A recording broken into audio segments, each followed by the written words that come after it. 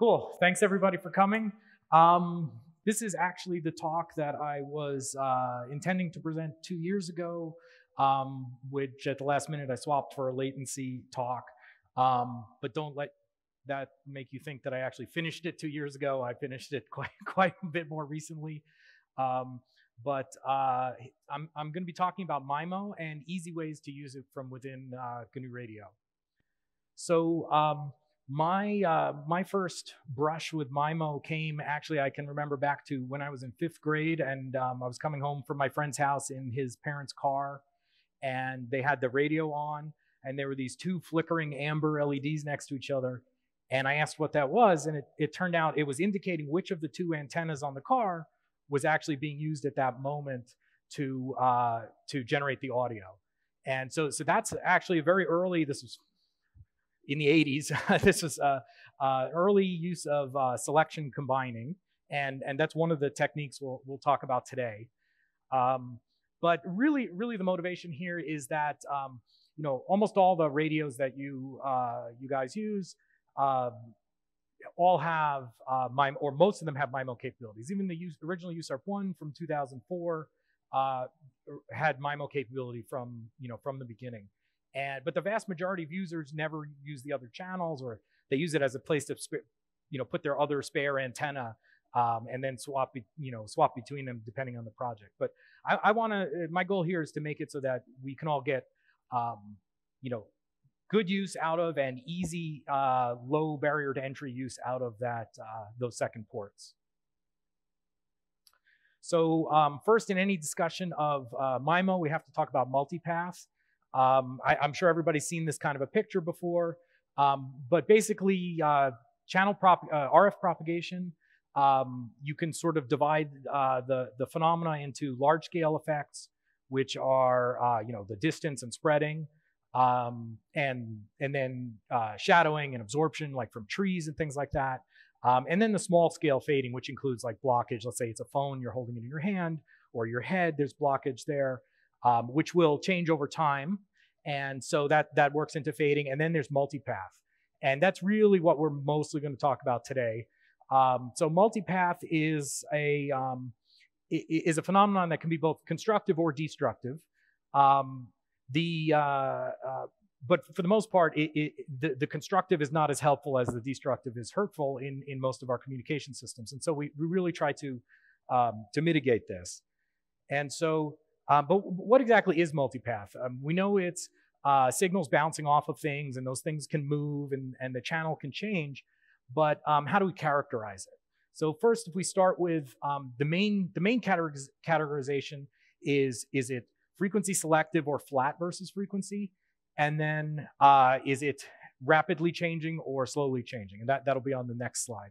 So, um, so if we look at flat versus frequency selective, um, we know we have uh, a channel with, with all these reflections, but those reflections have to uh, travel further than the main ray.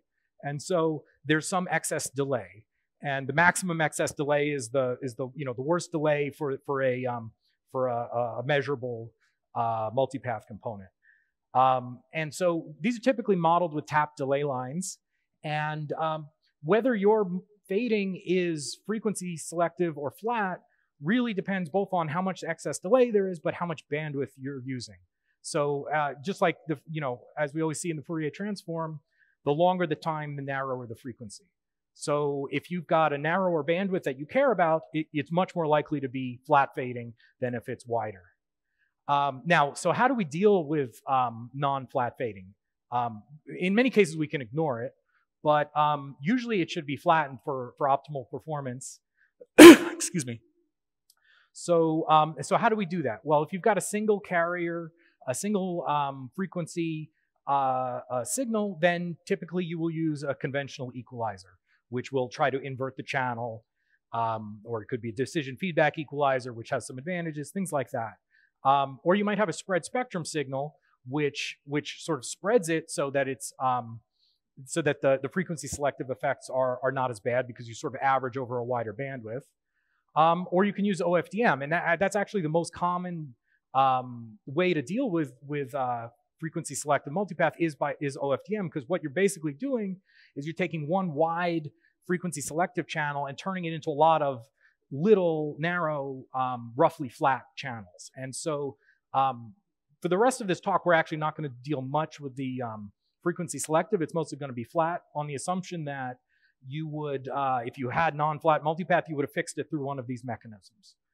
Um, and then we can really think about it in the, in the flat sense. So um, now there's the question of constant versus time varying. So this normally characterized with uh, what we call the Doppler frequency, which is sort of similar to Doppler shifting, like from fast-moving objects, but this is more that the, the multipath components are changing delay and amplitude rapidly. And it sort of looks a little bit like Doppler, uh, but it, don't, don't confuse it like with the Doppler you see in satellites.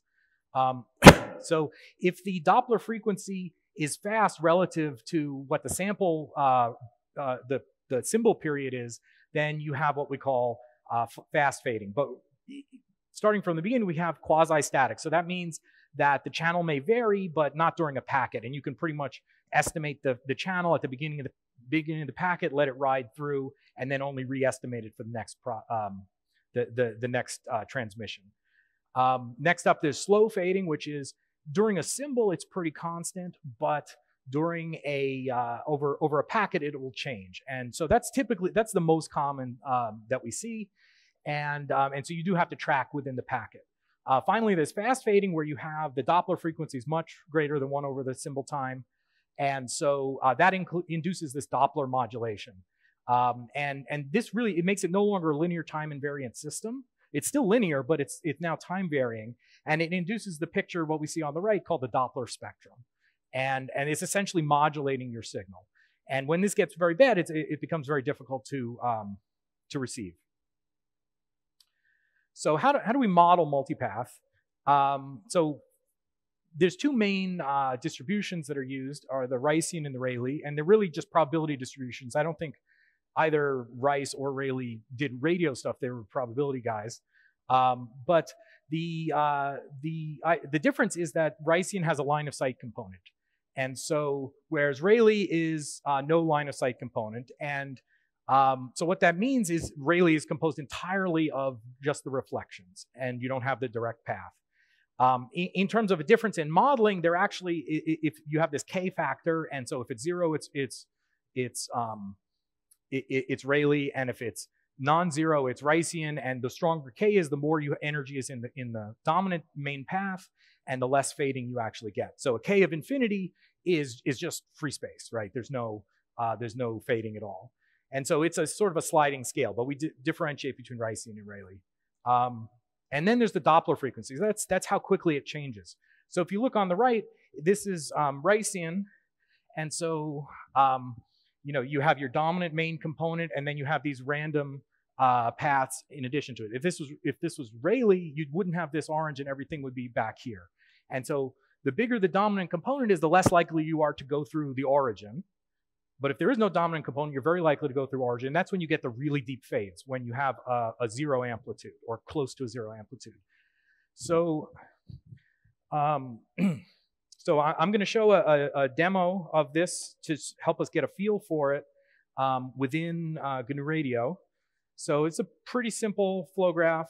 Unfortunately, it doesn't all fit on the screen, so I'll, I'll scroll it for you. But we start with some noise and, and, uh, and a constant, and I'll switch back and forth uh, between them with a button. Um, we throttle it, of course. We go through our fading model, which um, is already in GNU Radio, and thanks to whoever wrote this block, it's really good.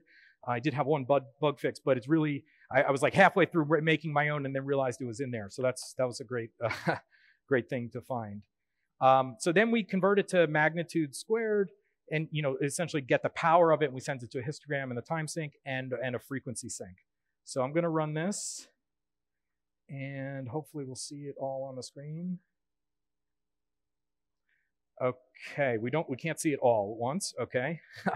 um, so first we'll start with uh, uh, a constant signal. So this we're just sending one through through the through the flow graph, and you can see it's just constant here. It's not changing. If I turn on the Doppler frequency, you can see a change. And so the higher the Doppler frequency, the the narrower these these um, the, the, the more rapidly the, the path changes. Right. This is versus time here. So we'll we'll slow it down a little bit. And then as we change the k factor, this is at a k factor of zero. So that's that's um, Rayleigh. So it's it's got really deep fades. You can see occasionally goes below minus 40. Um, and a, as we increase the K factor, you get more and more direct path, and so the fading gets less and less bad until at maximum, I, I mean, if you made it infinite, this would just be a flat line. And so this is, um, th this is, uh, it sort of shows the, the continuum of, of the, the, different, um, the different types of fading. And then, um, but if we look at this in the, um, in the, pro, in the uh, histogram, I'm gonna, I'm gonna change the K factor. So this is Ricey, uh, Rayleigh. And you can see the histogram is it, it's centered around. So all of these are, are the same total power comes in and out on average, right? Sometimes it's a stronger signal, sometimes it's weaker, but on average, it's it's um, it, it defaults to zero dB. But you can see, so there's this distribution, and you can get, you know, you have significant content down to minus 30 uh, that you can see here, but sometimes it's up to, you know, minus seven, or sorry, plus seven or plus eight dB. Um, a, as we increase the K factor, you can see that that distribution narrows. And so it's still centered around zero, but it, it, now doesn't get as great on the high side and doesn't get as bad on the low side.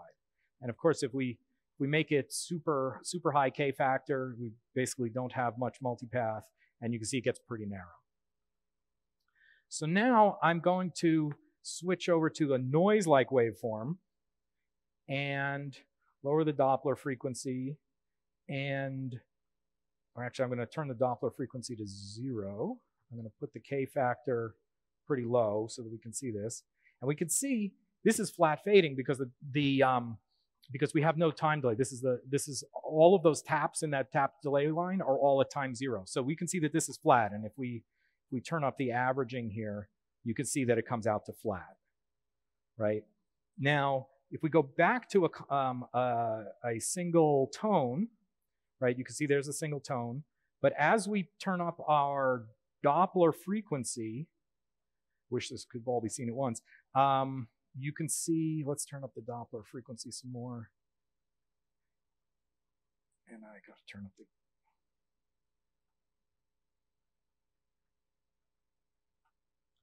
turn down the averaging. So here what you can see is this is that Doppler spectrum, sometimes called the Jakes spectrum. And you can see here's our dominant tone right at, right at the middle. Oops. And then these are the, the varying tones. Now there's eight of these because there's eight selected in the, in the model, but you can see that this bandwidth is, is, is essentially what I'm setting at the top here. So if I, if I reduce that Doppler frequency, right, this gets narrower. This is all still flat fading, but it's frequency varying, and so it causes this content in the frequency domain. So now if we go back here and we switch away from the flat model and into the frequency selective model, you'll see similar. Um, so let's turn up the Doppler, K factor. And if we look, and we'll turn this, now we'll do it with noise. And let's turn the Doppler off. And now you'll see that it's non-flat. And that's because that, that block is introducing time delay before all of those um, tap, or in between all of those taps. Now, of course, if we turn the Doppler away from zero, it's going to change fast enough you can't really see it, but it is non-flat in there. And it really just depends on how fast you make the channel. But you can see it's non-flat, but it's changing. So, and, and again, we have the same distribution here. Um, and, you know, the same dependence on K-factor, but now it's, it's um, frequency selective. So, so that, that's actually going to be the last frequency selective that I, I show um, during this, this demo. Everything else is going to be frequency flat um, because we'll assume used OFDM or some other technique to, uh, to flatten out. Um, so, so, okay, so that's how we model multipath. So now, now we come to MIMO finally. So um, this is the canonical MIMO drawing, um, courtesy of Wikipedia. Um, but the idea is you have multiple transmitters and multiple receivers. And so, and, and when they say MIMO, um, it, it, multiple input, multiple output, it refers to inputs to the channel, basically how many transmitters you have, and outputs from the channel, how many receivers you have. Um, and you, of course, all of them couple to each other, but in varying amounts. And those, that's the, uh, the coupling or the, or the path loss, and it's denoted with H. So H11 is from antenna 1 to antenna 2, H21 uh, is antenna 1 to antenna 2. Uh, that, that that's how that um, works. And now we end up with a lot of uh, matrix math at this point because it makes all of this easier. But um, so effectively, you have multiple channels between your various transmit antennas and your various receive antennas. Um, but those channels can be correlated, and some, sometimes they're correlated and sometimes they're not. Um, in general, the further apart the antennas are relative to a wavelength and relative to the physical uh, things that are causing the reflections, um, the, the less your, uh, your, your um, gains will be correlated between each other. Um, and of course, uh, if, this, if it's free space, er, er, free space, everything will be totally correlated because there's no, um, there's no other uh, effects. Um, so, uh, and, and, we can also get uh, diversity through polarization. Of course, that's limited to two ways, either you know horizontal, vertical, or left, right. Um, but that can be useful um, at small numbers. Um, and so the terminology, as I say, there follows the channel. If you're pedantic, SIMO is one transmit, and MISO is is uh, one receive. Um, and so now I'm going to show a similar uh, flow graph, um, except this time it is with um, MIMO.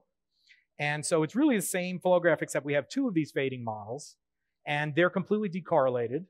Um, but then I have this matrix multiply here, which is fed by a correlation matrix. And so when the correlation factor is one, it, each output is basically the two signals, the two um, matrices added together. And when the correlation factor is zero, they're, they're totally independent. And then we again take the complex to mag squared and um, and, and show the, the amplitudes versus time. In, in, this, I no longer show frequency because it's flat in frequency. We're not doing uh, we're we're not doing um, the the frequency selective channels.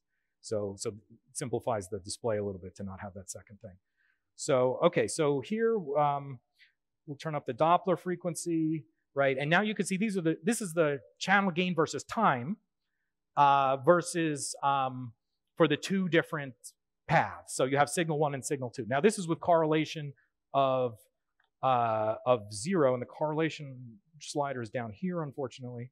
Um, so, but as I, as I increase the correlation up to one, you can see they become the same. And then, you know, if we, if, you know, if you're somewhere in the middle, like 0.7, right, you can sort of see similarity, but they're not exactly the same. So you'll never see exact, um, correl, you know, perfect correlation. Um, and in terms of using MIMO techniques, the lower the correlation, the better because you get more diversity out of it. Um, but in in general, you can get useful results, you know, down to you know moderate correlations of you know 0.5 or so. And um, uh, now, if you if you don't have, uh, I'm sorry, if you do have perfect correlation, um, as if it was free space or or some other situation where you happen to have the antennas too close to each other, um, then you won't get the same same level of um, uh, of uh, uh, improvement from MIMO, but um, you you may still. Oh, let's go on here. Okay, so good. So um, so that's that's basically the modeling of the systems that we're we're working in now, and so. Uh, uh, so that you know that's that's what MIMO propagation looks like, and there's you know there's other models that are more complicated, but this this has really the basics. So in the rest of the talk, I'm going to go through a model communication system. And now this is this is like a full communication system here, right? You start with source coding, channel coding, modulation, all that stuff, and uh, and, and in some situations you'll have different, um, you know, you may reorder these blocks, but basically you have channel coding, modulation. You would add your MIMO encoding then your channelization, whether it's OFDM, root raised cosine filtering, spreading, whatever it is. Um, and then we have the propagation loss and multipath. And then at the receiver, you get your AWGN, right? And, and, and that's why your, your noise should be decorrelated between the, the, the two um, receivers because it's, it's really receiver noise. Um, even if it's, even if it's um, thermal noise, atmospheric noise, um, the antennas, as long as they're not uh, highly directional, large, like SETI kind of antennas, they will be they will have independent noise. Um, when they don't have independent noise in radio astronomy, it's because you're doing, you know, or, or you're attempting to do uh, interferometry and you don't want it. You, you, do want the correlation, and that's how you you control the direction. But if for our purposes, you can assume the noise is um, decorrelated here. So then you would do time and frequency sync, dechannel it, and you know you reverse everything else from the from the above. Um, so what I'm going to concentrate on today is the stuff that's not blackened there. So we have um, modulation, MIMO encoding, the propagation, AWGN, and then the decoding and demodulation. We left out the, the channelization, um, and uh, uh, I left out the time sync. I know that's something I've said. You you know you never leave out the, the synchronization because that's the that's the hard part. You know, but the textbooks leave it out. We're going to leave it out today for um, for our purposes, but it, it's of course um, important. But all of these flow graphs have the the timing synchronization automatically in there. We still do carrier recovery, but we don't do the timing recovery. So um, so going back to MIMO. So why do we use MIMO techniques? Um, first, increased reliability. We um, effectively get antenna gain. Um, uh, at, at, the very least, we effectively get antenna gain through our MIMO techniques, um, and we can increase throughput. Uh, we get get um, path diversity, more reliability, etc. Um, why wouldn't we? Well, there's there's hardware complexity involved. You have to multiple receive chains, multiple transmit chains. There's, al- there's significant algorithmic complexity and processing that goes along with it. Um, sometimes, depending on which MIMO methods you, you're using, you need to, ch- to pass channel state information.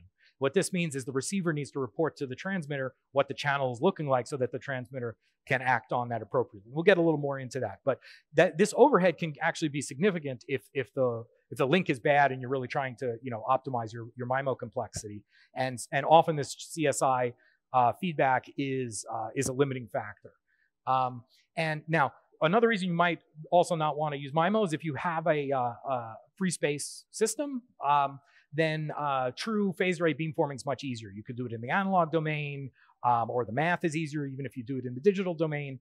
Uh, and it's you can point beams, and, and if there's no multipath, you're going to get the same results as if you just did beamforming. So that that's easier in those situations.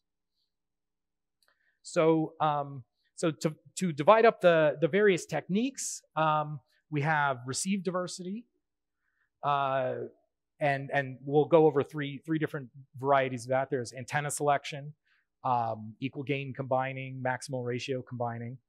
Um, there's transmit diversity, uh, where we also have similar similar options. Um, we have space-time coding, um, which we'll, we'll show an example of that as well. And um, and you know, sort of the true MIMO, the the, the sort of advanced MIMO stuff, um, where you would have what's called spatial multiplexing or pre-coding, and there's a bunch of other techniques um, uh, around that, and, and we'll, we'll cover that a little. We don't have a, um, a demo of those. Uh, and then there's massive MIMO, and I'll cover a little bit of that um, at the end. So, um, so I, have talked a lot about diversity, but what does that really mean? So um, we, we kind of intuitively know that, that eh, um, diversity in in paths means that you know if one's bad the other might be good right? Um, and so we can still communicate in that situation. So uh, but it's actually it, it, can be quantified too. It's not it's not just this sort of um, fuzzy uh, concept. And so um, we have what's called diversity order. And if you're able to extract the full diversity it, it will improve um, your your your links in in these fading scenarios. So so this is just a, a plot of a simple communication system, and I, you probably can't tell the colors very well, but this, this, this line here is the bit error rate uh, for this communication system versus um, uh, in, in just a Gaussian channel with no fading. And you can see you ha has that characteristic um, rapid drop off as, as the, the SNR increases. And, you know, so it just takes a little bit of increased SNR to radically drop your bit error rate. Um, but when you have a, um, a faded channel, it turns out that it's not, it, it, you, you lose that, that steep slope. Um, and, and now, now, why is that, right? We're, we're basically saying that whereas before a 1 dB could give you a huge drop off, now it takes many dB to get the same kind of drop off. So why is that? Well, if you have fades of 30 dB, then adding one, you know, that are 5% of the time, let's say, adding 1 dB will maybe you'll have those fades you know, you know, 4.9% of the time, right? You, you won't get uh, the same advantage. It's almost like you have something, it, it's effectively binary, either the channel's there or it's not.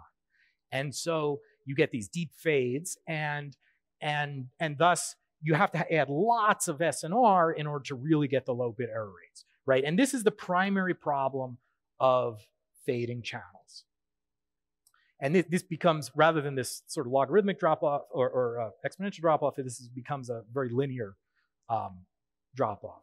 So, so, um, so what happens when we add diversity? So if we can get full diversity of order two, then you can see we can go from here to this line. Now, what is this saying? This is saying if there was maybe a 5% chance of, of, uh, of the, one of these deep fades that you can't, can't deal with um, with one antenna, but if they're totally uncorrelated, well, the chance of them both being uh, deeply faded at once is, you know, is, is 0.05 times 0.05, right? It becomes a much smaller number.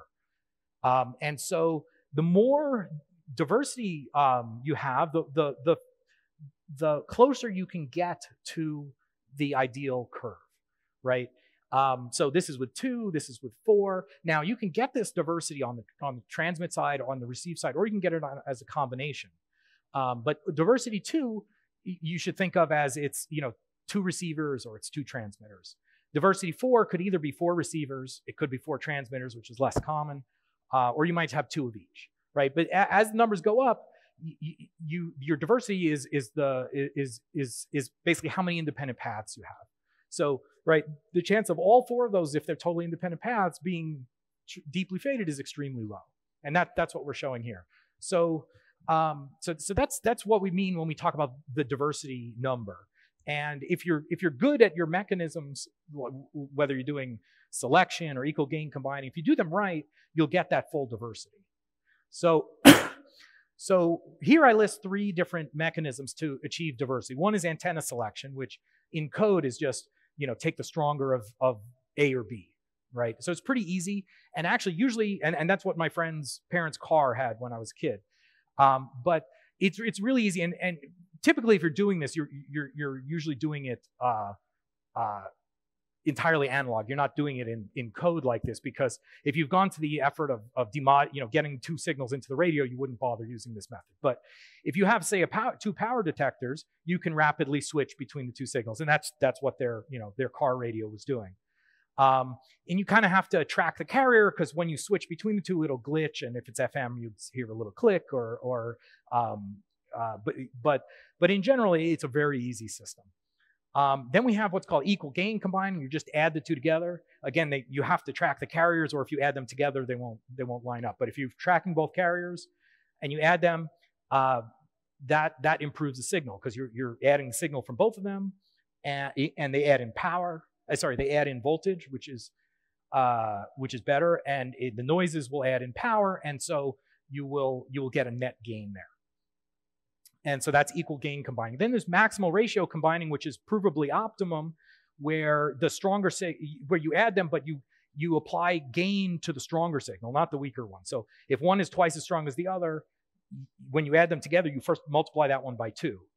And and that that emphasizes the stronger one. And it turns out that's the exact same math that hap- that that happens in beamforming.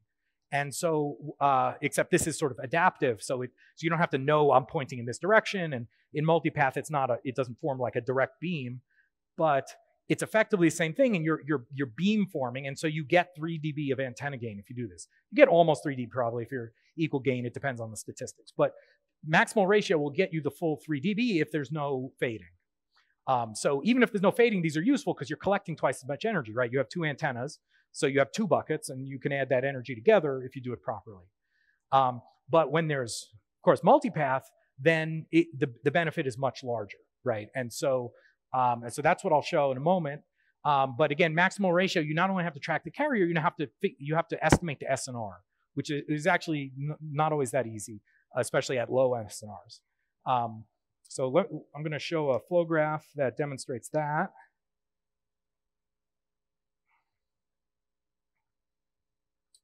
Um, actually, before I show that, I'm going to show um, my, my tabs got rearranged here. So I'll just show the, the blocks I made. So equal gain combining is easy, right? It comes in, you add them together. It's already carrier synchronized before this, right? So this one was very straightforward. Um, selection combining, it's a little more complicated in the flow graph because I tried to do it without writing code and there was it's hard to find a something that will say, oh, this one's stronger, pick it. So, but effectively, all this, all this, you know, math in there is just figuring out which one is stronger. The the argmax block is doing that, and then we're choosing which one to pass through uh, to the output. So, so that's uh, selection combining, and it, these are both. I'm doing all two way here, but you, all these can be, you know, increased to four way, eight way, however many you want. And of course, selection combining will continue to lose to the others because the others are actually adding all the energy where this is just picking one and you won't get any antenna gain. You'll just get the diversity.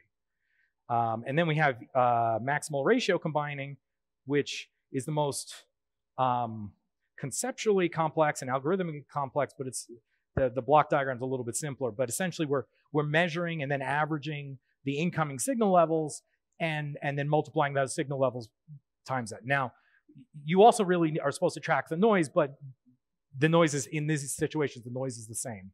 Um, so so it simplifies it a little bit. It, ideally, this would be written just out in code, but this is a um, yeah, I kind of like to see it as as a flow graph, right? So we have the two signals coming in, and they pass through these multiply blocks and added together, and then uh, they're scaled by the the sum of the uh, powers, and then comes out, and then this this stuff up here is just the power estimation, the SNR estimation. So so here's the, the flow graph that uses this. So we start with just a, you know, a audio source. Um, it, it generates, um, it converts to bits, right? We convert those bits to plus and minus one. So this is all BPSK. All of this works BPSK, QPSK, QAM, you know, whatever. Um, but we're, we're doing all BPSK here today. Um, and now I put a little bit carrier in here because we have to estimate the carrier. We have to um, synchronize. So I add a carrier by muxing in some ones. Every eight, every eight useful bits, I have one bit of, uh, of pilot. And so we send that through this correlated Rayleigh uh, channel. Um, same thing goes to both of them, but it's two, two different channels. Uh, so this is transmit, this is over the air. And then on the receivers, right, we have two receivers. So we demux the, um, the carriers, and the carriers go into these carrier regeneration blocks. Um, and uh, and uh, sorry, the yeah, the the carrier goes into the carrier regeneration block, which we then um, multiply conjugate to get to take that back out of the signal, and so we we've transformed back to uh, DC, and then we we we put it through the three methods: equal gain, maximal ratio, and selection combining, and um, and we can output it to audio, but we can also uh, show the constellation. And I'll show the five. It's easier to see on the three, but we'll we'll start with we'll start with the five, and then I'll. But the the display is pretty pretty busy. Um, so anyway, so going back here, we also show the the direct paths um, without the without the as if you just had one reception. So so we'll we'll run this, and so we got we can add noise here, right? We'll, you know we can add more noise or less. So this is a decent amount. Um, Doppler will change the channel and you can see it moving around.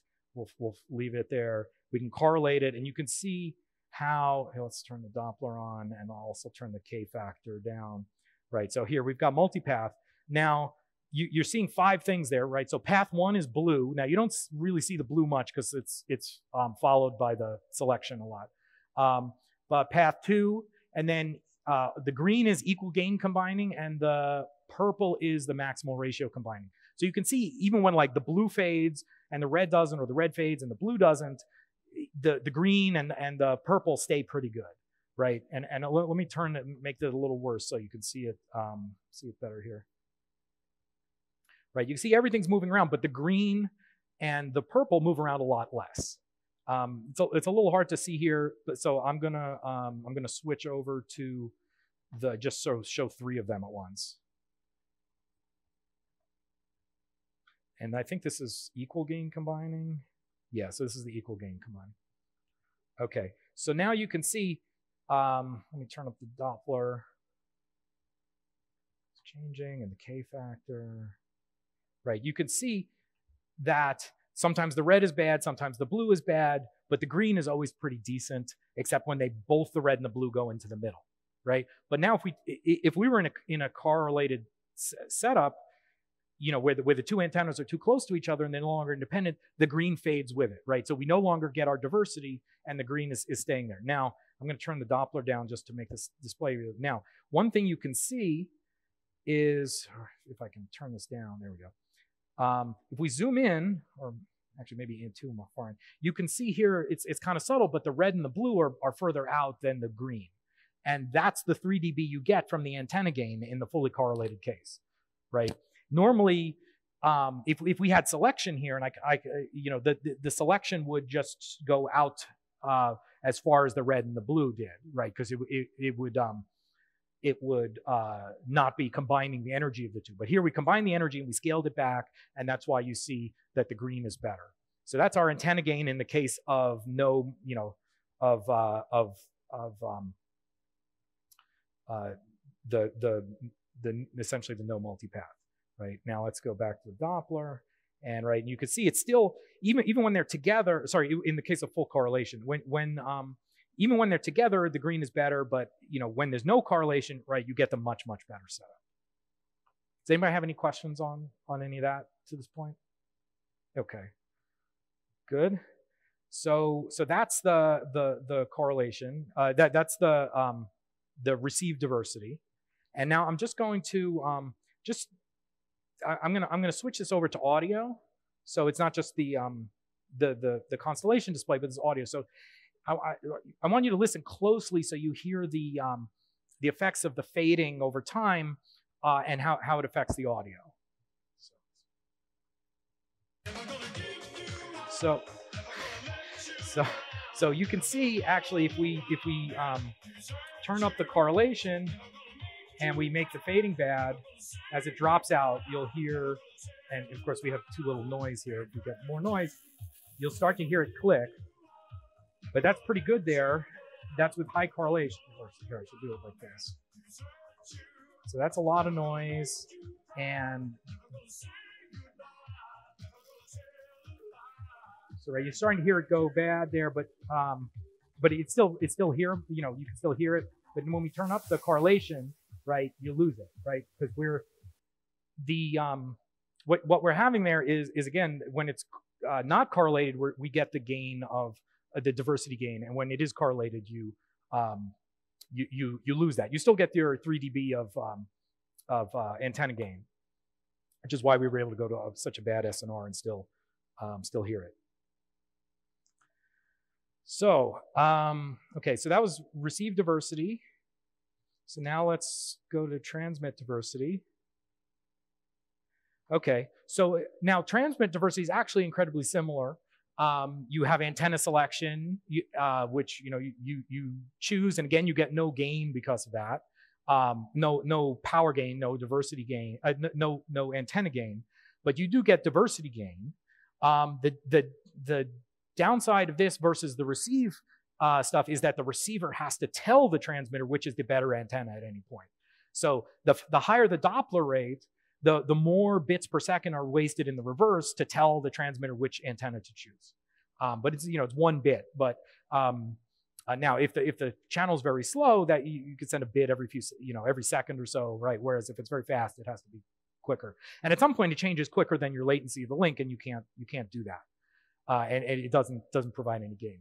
Um, the other choice is maximal ratio transmission, um, which is really trans is the reverse of MRC, and it gives the same diversity gain, um, but it, uh, it, which is uh, transmit beamforming, and so it it provides antenna gain. So again, if you were to measure this, you would actually, if you were to look at it in free space with the two coefficients, you are effectively pointing a beam. Now, with, with only two antennas, it's not much of a beam, right? But you're, you're providing gain in one direction.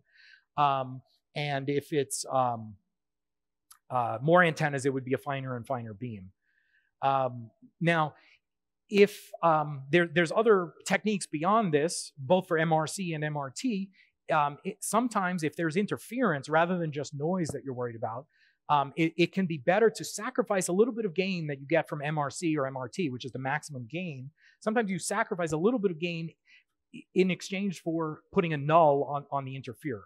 Now, if it's just Gaussian noise, there's no no concept of that because it's you know it's uniform. But um, but if there is an interferer that you want to get rid of, you you can use these, and they're called zero forcing techniques. But it's essentially just pointing a null in the direction of the interferer, um, and you can point one null for every extra antenna you have. Um, and so, uh, but that's you know, of course, in, in the, certainly in the case of TX diversity, needs a lot more um, uh, channel state information, right? The MRT and and that would require a lot of uh, um, CSI.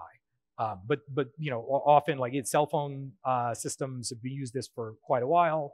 Um, even um, Wi-Fi will sometimes use channel st- state information depending on the mode, um, and uh, so that the transmitter can, um, you know, point the point the the signal where it wants. Okay, so next we come to space-time coding. Um, now, the, the great thing about space-time coding is that it doesn't require channel state information at the transmitter. Yet the, trans, the transmitter can do um, uh, MIMO with it. And so um, what, what, it, what this means is because it's the no channel state information, the transmitter doesn't know how to point the, the energy in the right direction. So there's no antenna gain from this, but you still can get the diversity gain. Um, and so the way you do that, the easy way, the, the sort of the, um, the, the first way that was discovered to do this is called Alamouti coding. Uh, and it, you know, the general family of, of these things is called space-time block coding, or if you do it in OFDM and you put, you know, than, so space-time block coding means the, the code symbols you do sequentially. So A then B, A then B. Um, whereas space frequency block coding would mean you just put them on adjacent carriers in the, um, in, in, in your OFDM, but it's, it's the same, it's the same math. Um, and so, uh, uh, and you could actually do it in CDMA. I've never seen anybody actually do it, but there's no reason you couldn't. There's two two orthogonal um, signals. You can just uh, do that in the in the in the in the coding domain as well. Um, and uh, so yeah, so anyway, Alamouti coding um, is this is as close to you get sort of a, to a free lunch in in in comm systems. Um, you get uh, it, it, but if you have only two antennas, you can do um, full rate, which means you don't give up any data rate and you don't widen your bandwidth. You get the same data rate through, and it's fully orthogonal, which means you you would get the the full um, the full diversity gain of the system, and and and there's no um, uh, impact of one symbol on another. Um, it's been extended beyond two antennas, but you can you either you have to give somewhere. You you, you either have to um, accept reduced orthogonality or reduced diversity or um, or slow down the data rate so that you can do this because um, it doesn't it doesn't perfectly scale. But there are some versions that go up to like four antennas, eight antennas. Like Wi-Fi has a I think a four and an eight antenna or three and a four and a uh, maybe an eight antenna version um, in there. So, but you you give up a little. But in any case, the idea is if you look at this matrix, you have C1 and C2, which means that um, uh, this, so the columns are your antennas and the rows are your time slots. So let's say I have two bits that I would normally send called C1 and uh, C2. I would send C1 and then I would send C2. So instead, I send C2, C1 and C2 at the same time, but on different antennas. And then the next time period, I send the negative conjugate of C2 from the first antenna and the conjugate of C1 on the second antenna. Now, um, what this means is that each symbol is going on both antennas, but it also means you have two, two bits in two times, and so we don't lose any data rate. That's why this is called a full rate code. Um, so what this does is, is now the receiver gets a picture of both signals coming from two different across both paths, and so um, there's a there's a sort of a matrix inversion you can do that gets the um, the uh, uh, the symbol separated again, right? Because they're mixed here, but then you would get it separated again and and be able to separate them at the receiver. So so I'm going to show uh, this. Um, so we can do, this is the Alamouti encoder, which is basically just that matrix, you know, that matrix that I showed you, um, where you source in, I multiply by half, right? Because you can't, you don't want, you know, cheat. You have, a, you, you know, if you have one watt on one antenna, you have to go to half a watt on each to make the, the math fair, right? Um, now, if, if you happen to be limited by antenna power, then, uh, uh, sorry, by amplifier power, then adding a second one gets you more power, but that's that's cheating in the comm system sense, right? You you you have to divide the power equally between the two. Um, so we, we we separate the the the streams and um, uh, and and so we take we do, we do the math on them and uh, so you take pairs of symbols essentially that come out of two ports of the stream to streams. Uh, one goes back in and, and is uh, uh, and then the other is um, yeah it, it, basically this, does the math on it. Um, it, it, does that uh, complex conjugate and and and takes the um, so so the, the the C1 right so the, this is easier if I do it this way so C you know C1 would come out here and would come out the first antenna at the first time period. C2 would come out the second antenna at the first time period. And then the, the, the processed ones cross, right? You cross the streams here. It's allowed in this case. Um, complex conjugate, and then you multiply by negative one, and this one's just complex conjugate. And those become the second symbol on the two respective antennas. So, so that was easy to do in uh, uh, GNU Radio uh, in, in using uh, hierarchical blocks. Uh, the receive is more complicated, and I just, just went to uh, math in Python for that. So first we have to estimate the channel. So this is just a, a Python block. Um, I don't know if you can see it, but basically uh, we have the constructor and we just have this, this matrix that is the known symbol that we, that we send in the pilot, right? So we just send a 1, 1 in the pilot and that gets Alamouti encoded along with all the data. And so here we just, this is the, the matrix that we're going to need to invert it. And then every time we receive, we basically multiply by the, inversion, the inverted um, thing and that tells us what the channel coefficients are from the two antennas to R1, right? Remember, this is single receive on this in this example. And then the actual receiver then takes, takes those um, estimated channel uh, vectors, uh, channel coefficients, it makes its own vector out of them, inverts that, and then, um, and then that gets multiplied by the incoming signal, and then that comes out. And so if we look at that in the, um, Alamouti demo, right? So we, we again have our, our, our data source. Um, we, we go to the Alamouti encoder and we have channel gains for the two separate channels. And then we add in noise. And then on the receive side, we're, we're demuxing out the pilots, right? The, so the pilots get demuxed out. They go to the estimator. And it has an alpha so you can average the estimates over, over time periods, although I didn't implement that part yet. So it's, it's just, it's not averaging them. So uh, you'll see the noise grows a little bit, and I'll, I'll point that out. Um, and then we display the, the estimates, and then it goes into the receiver. You know, the same, the same estimates go into the H path on the receiver, and the, the, the data comes into the in path on the receiver, and it, it you know, demodulates it and comes out, and it'll show it as, uh, you know, as a constellation.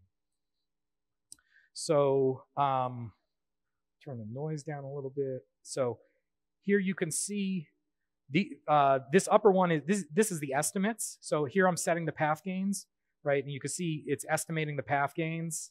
That's H2, that's H1, right? And you can and you know even if you have one path gain is is off, right? Essentially you you know you disconnected one antenna and you only have signal coming through the other. There's still enough information there for the receiver to receive it, right? That's the that's the, the I, I unhook the antenna version or the I've got two two uncorrelated paths and one is incredibly bad, right? So you could still receive it. it you won't get the the the improvement in that case, but um, but at some other time, then a different one will go to zero. Now, if I happen to pull both of these to zero, the the flow graph dies because it's a singular matrix, and I need to you know catch that in, in an, as an exception. But um, you could see what it does here, and then down here you could see the blue is what what comes into the antenna, right? And you can see it's, it's got this weird point in the middle. That's because we're summing both, both signals coming in. And so it, uh, so sometimes one's positive, one's negative, and they, they go to the center, right? So you obviously can't just decode, you have to do the math to decode it, and that's what the red is, right? But if I, if I were to, um, to change this, you could see that, right, the two different paths have two different gains, and that's why the blue sort of bifurcates like that but the red stays uh, correct because it's, it's estimated. Now, I'm going to turn the noise up a little. So now, now, and I turn the noise up, and now as we drop the amplitude of the of the path gains, right, you're going to see that the it all gets equalized. So the sig the the the red signal amplitude stays the same, but the noise amplitude grows because right, we have worse and worse channels, right? But, but what you see is when one is really bad and the other one's good, we've got a good signal. And, and if the other one's really good, we still have a good signal. But as they both approach zero, that's when it, it goes bad. So obviously when you have the really, if it's either highly correlated or they both happen to, to go to poor paths at the same time, that's when you, you know, the diversity is not sufficient. And, and you know, it's not magical. It's not going to um, decode a signal from, from nothingness. So that's the Alamouti demo. And any, any questions so far? Okay. almost done here.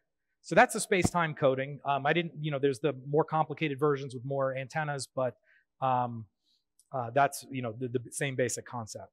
Um, now, I don't have demos for the rest of it, but um, we'll talk a little bit about the more advanced MIMO stuff. So um, the first technique is called pre-coding.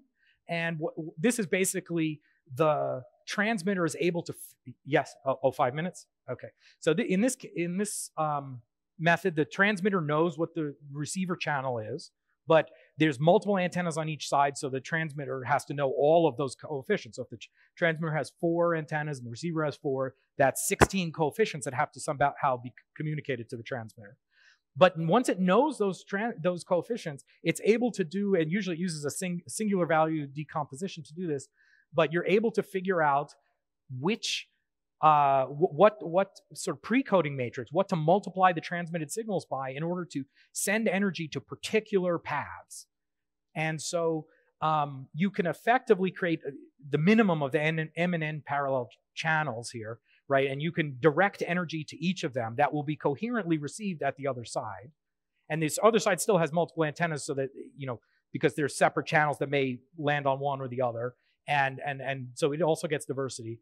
Um, but you can, uh, um, but in, in also in a frequency selective situation, it may also be doing this in the frequency domain. And so it's directing energy not just to particular paths physically, but also into particular frequencies, right? So if you have one frequency with a null, there's no point in sending energy there. So pre-coding will put it in a, in a, in a band that's good. So that's what, that's how you could take advantage of the improvement of um, the SNR uh, when the when the fading is in your favor, right? You, when when it goes above the zero line, you, you, this helps you take advantage of that. So um, this is this is uh, more complicated. It's uh, and I, I have some Python code that does it, but it doesn't work. It didn't get it into the demo. Um, but this allows an increase in the bit rate, um, both both because you have stronger channels and also you have multiple channels, right? You can send multiple things at once. Um, and this, of course, can also be used with what's called multi-user MIMO, where you're sending different things to different users at the same time. Um, again, you know, by by um, you know having different uh, pre-coding matrices to tra transmit to each one. Um, and uh, so then, the, so, so, of course that needs a lot of CSI. Um, so the the final technique that i that I list here is called spatial multiplexing. And the advantage of spatial multiplexing is you don't need any channel state, and the transmitter can just essentially just sends a separate stream on each antenna. And, and it's like it's up to the receiver to figure it out. And um, it's and, and, this is also there's modes for this um, spatial multiplexing in um, in Wi-Fi as well in the in the you know the newer ones. Um, and so if you have eight antennas on the transmitter and four antennas on the receiver, you can send four streams to that user. Um, if you have eight on each end, you can send eight parallel streams. Now, it turns out that um, even, even if there's a lot of multipath, you don't really have eight good channels, or if there's eight and eight, you, you'll have some number less than that. So typically there's like one super strong channel and then some, some others. Uh, but with spatial multiplexing, you can't, you can't choose that, right? So you have to sort of code across it. Whereas with pre-coding, you can choose, oh, this, this one channel is really good. I'm going to put all my energy there. And this other channel is not as good. I'll only do BPSK on that channel or something like that. So, so spatial multiplexing really, really, on the other hand, leaves it up to the receiver to decode. And, and it, this is where you hear about sphere decoders and things like that. Um, essentially, the receiver has, if, if there's four transmitter antennas and four receive antennas, and all signals are sent at the same time, on each receive antenna, it, will receive all four of those streams. But because it has four pictures of it with different relative phases on each, if there's enough multipath diversity, it's able to decode that and separate them. But um, but certainly it's uh, it, it, would be always advantageous to use pre-coding if if you had the CSI in order to do that. But um, but of course that's not always available. So the final technique um, is is massive MIMO, and this is a, a, picture I've used many times as a setup at the University of Lund in Sweden, where they had um, 64 X310s, which each had um, you know, two antennas. So it was 100 was it? No. Yeah, it was a, a 128 way MIMO. Um, and, and in massive MIMO, typically it's not 128 on each side. It's, it's a, you know, 128 or 64 or 32 on one side, and then it's like a handheld with one or two antennas on the other side. Um, but what you have here is you have this continuous CSI feedback, and um, the, the antenna is essentially attempting to invert the channel so that it can put a beam right at one user. Now these beams may not be sort of a fan beam, like a directional beam, like you're you're thinking of when I say beam. It can actually be more of a cloud, right? If if it's very diverse multipath, it won't be a straight path. It will be, you know, everything combines coherently here, and even right behind it, it might not. And so as you move, it has to keep adjusting. So there's a lot of CSI to do that. Um, and so I, I, call that eigen beamforming um, versus you know conventional beamforming. Um, and uh, but again, if there's no multipath, this would just uh, you know sort of collapse down to a, a, a phased array antenna. Um, and there's a couple of methods. Um, you know, MRC and MRT just aim as much energy as possible to a certain point. Um, but then there's also zero forcing or null steering, which also tries to make at, at one user it, it, it sends um, you know, a cloud to them, but also nulls out every other user's uh, signal at that place. And so that's a lot more computation, and you know, so there's a big pile of FPGAs underneath that that does all of that, com, com, uh, all those combinations in this. But you're able to effectively create individual clouds for each user, and it just as you as they move around or as the channel changes, you have to keep adapting. So unfortunately, we don't have a demo of that. That's uh, wouldn't fit in the overhead. So. Um, so anyway, that's uh, that's what I've got on on MIMO. Are there um, any questions? Silence. Okay. Well, thank you.